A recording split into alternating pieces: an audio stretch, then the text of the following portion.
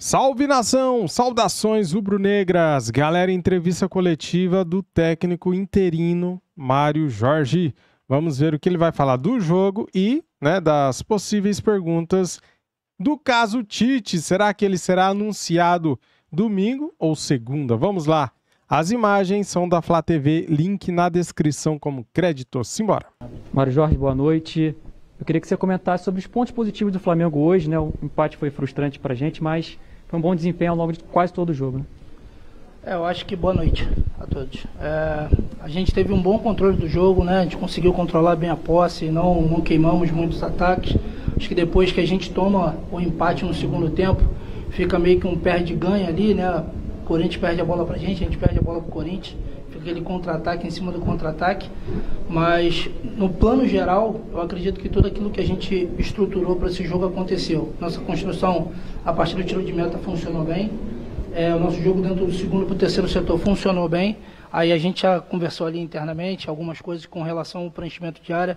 Já, já tinha sido diagnosticado contra o Bahia também, mas é uma coisa que a gente vai buscar evolução para a próxima partida. Mário, boa noite.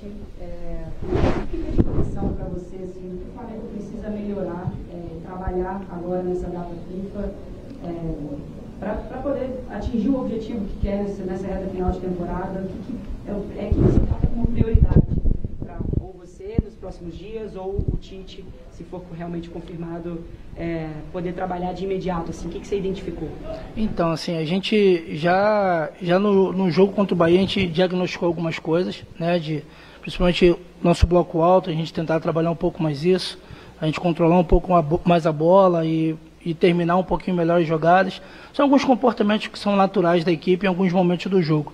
A gente tratar caso a caso, né? Então, tratar meu momento de construção, meu momento de pós-perda, algumas coisas que são comportamentos da equipe e tentar desenvolver isso da melhor maneira possível. Com relação à continuidade ou não e a chegada do professor Tite ou não, é uma coisa que o clube está tratando disso internamente. A minha missão é estar tá pronto para quando eles me chamarem para estar tá atuando. Ô, Mário, Boa noite.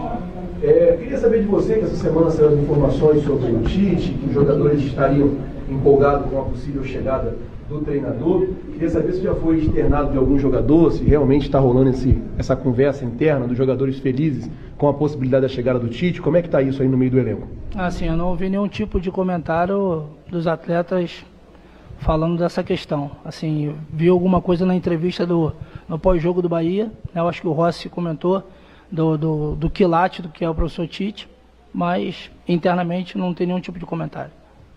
Boa noite, Mário, tudo bem? Queria que você falasse um pouco sobre o Gerson, que agora vai para a seleção, ele vem atuando bem com a equipe do Flamengo. E parece que hoje, depois da saída dele, o time deu uma baixada e depois que toma o gol, tenta evoluir de novo para buscar a virada. O que, que representa o Gerson para essa equipe? Ah, o Gerson é um ponto de equilíbrio para a equipe, né? Ele pode atuar em várias posições, exercer várias funções dentro da equipe, ele já mostrou isso em outros momentos. É, era um jogador que estava tendo a condição de controlar a bola quando a gente estava saindo para construir alguma coisa. É, e quando a gente perdeu ele, a gente perdeu um pouquinho dessa referência. Demorou um pouquinho para o Gabi e para o Rascaeta entrarem um pouquinho no jogo. Depois entrar a gente conseguiu ter mais chances a partir daí, com o Luiz para um lado e com o Bruno pelo outro. Enfim, hoje a gente não conseguiu é, é representar é, é, esses números de chegada ao terço final com finalizações na baliza. Paciência é seguir em frente. Boa noite, Mário. Queria que você falasse um pouco como é que está sendo esse dia a dia agora no Ninho do Urubu, né? A gente viu que essa semana saiu notícias que seu trabalho foi muito elogiado internamente por jogadores, por funcionários, muitos falando que, que o clima está mais leve no Ninho do Urubu. Como é que está essa situação aí, nessa sua rotina, por enquanto, como interino da equipe profissional do Flamengo? Cara, assim, a estrutura é fantástica, né? Eu acho que não preciso falar da estrutura do clube com relação à, à parte física da coisa, né? De campos, estrutura interna. Mas eu acho que o, que o ponto principal são as pessoas. Né? As pessoas, da forma como receberam a gente da categoria de base, a forma como nos tratam, com respeito, com, com a dignidade que, que um ser humano merece. E assim, acredito que um pouco daque, daquilo que a gente traz do futebol de base também, que é a, a leveza na relação humana, a gente está tentando fazer no profissional. É, eu acho que isso refletiu um pouquinho na forma como os jogadores respeitaram a gente nesse momento. Fantástico, não tenho que reclamar. Mais uma vez, eu falei numa outra entrevista. Os caras são muito profissionais, são muito corretos comigo. Tanto é que a gente consegue fazer algumas coisas que são ideias né, do, do clube e a gente consegue mudar rapidamente para um jogo com 24 horas. Então, estou muito feliz, vou aproveitar a oportunidade da melhor maneira possível. Se for hoje, se for até o final do campeonato, isso é o clube que vai decidir. Mas se me chamarem, eu estou apto e estou pronto para estar tá aqui para ajudar. Mário Jorge, boa noite.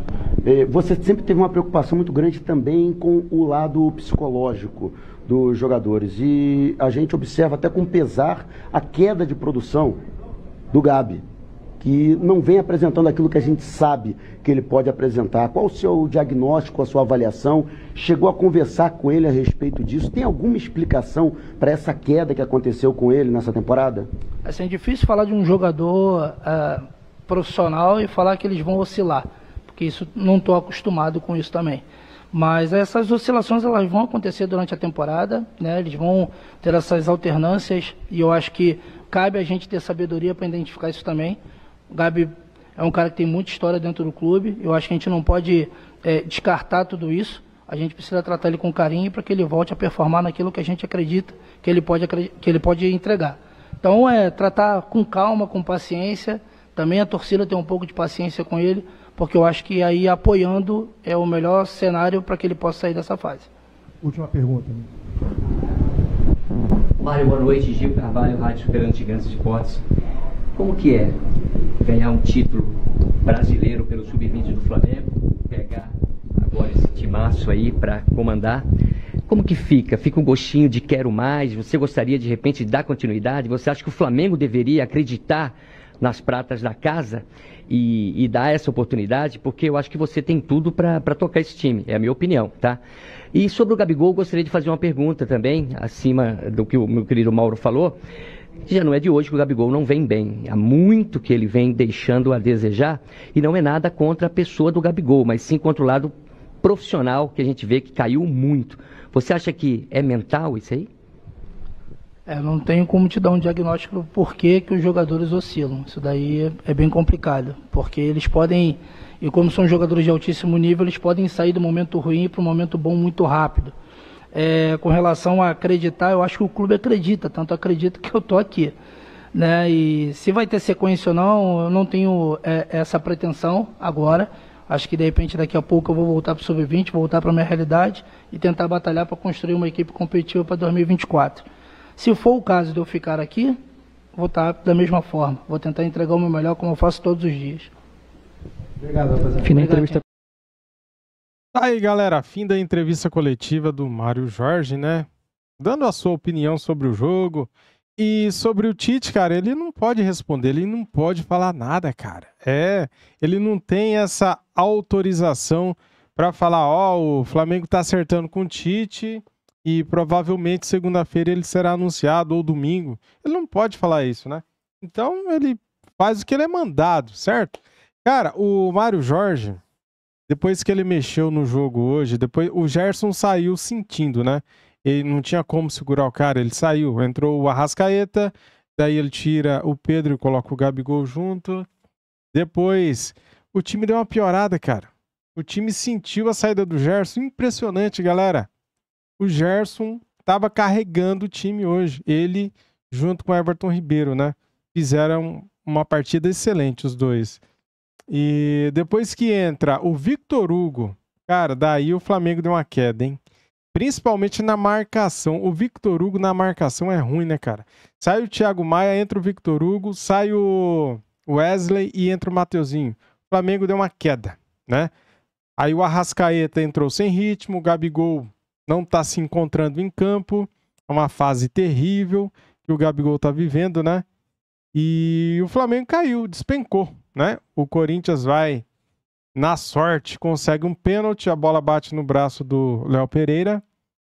Corinthians vai e empata o jogo. Se o Fábio, Santo, Fábio Santos bate mais fraco naquela bola, o Rossi teria pegado, né? O Rossi foi muito bem na cobrança, né, cara? Mas, cara, agora não adianta mais chorar o leite derramado, né? A gente tava feliz, eu tava feliz pra caramba. Nossa, rindo à toa.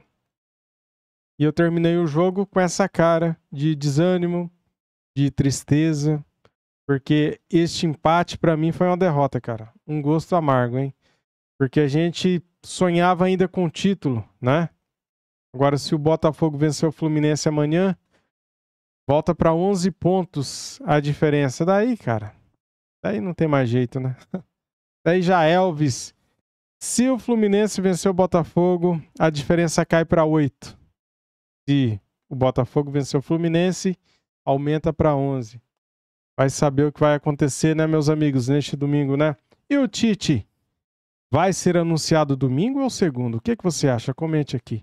Tomara que seja anunciado logo, cara, para parar, né, de enrolar, para encerrar essa novela, né? Tomara que seja anunciado o quanto antes. Beleza? Tamo junto, saudações. Fui!